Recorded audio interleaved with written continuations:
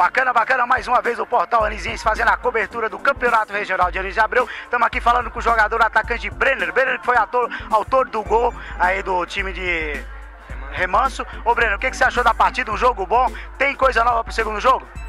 Rapaz, eu achei um, um jogo ótimo, né? Que a gente pôs o nosso trabalho do, do dia a dia do treinamento e vai ter que melhorar algumas, uh, algumas coisas para no próximo jogo a gente sair com os três pontos.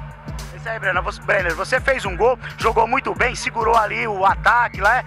Foi um dos responsáveis pelo jogo aí, né? Teve um domínio bacana aí, mas não deu para sair para a vitória. Creio eu que no próximo jogo vocês já estão mais adaptados, tem um bom futebol para apresentar aí. É, temos mais, é, se eu não me engano, é um, mais um mês de treinamento aí até a, a próxima partida, mas vamos treinar para consertar os erros e no próximo jogo sair com a vitória. Aí foi o depoimento do Breno falando da partida. Breno Protagonizem agradece. Um abraço, meu amigo. Boa sorte pro próximo jogo.